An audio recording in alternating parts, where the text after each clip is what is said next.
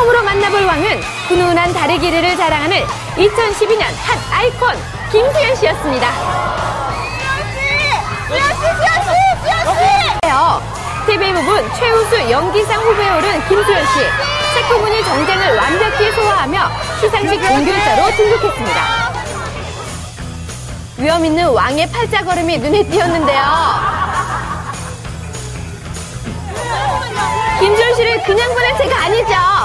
저 김성희, 김수현 씨를 품었습니다.